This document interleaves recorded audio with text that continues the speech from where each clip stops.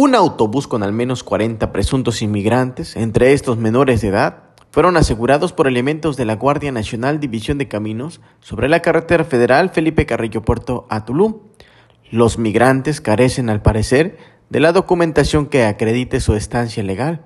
El autobús fue detenido en un filtro de vigilancia al filo del mediodía en el tramo del silencio de la carretera federal 307. Allí, efectivos de la Guardia Nacional realizaron una inspección a la unidad de la marca Dina, modelo antiguo y de color gris.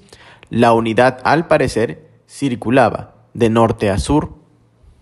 La unidad, al parecer, circulaba de sur a norte sobre la carretera federal 307 con destino a la ciudad de Playa del Carmen.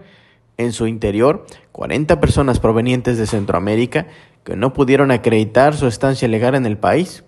Tres de estas fueron detenidas y puestas a disposición de las autoridades correspondientes. Estos habrían sido trasladados hasta la capital del estado, en Chetumal, ante el Instituto Nacional de Migración, en donde se determinaría su situación de estas 40 personas. Cabe señalar que estos filtros de revisión se han instalado por elementos de la Guardia Nacional División de Caminos y son en diferentes puntos de las carreteras federales que transitan sobre todo por Felipe Carrillo Puerto y que conectan con municipios vecinos.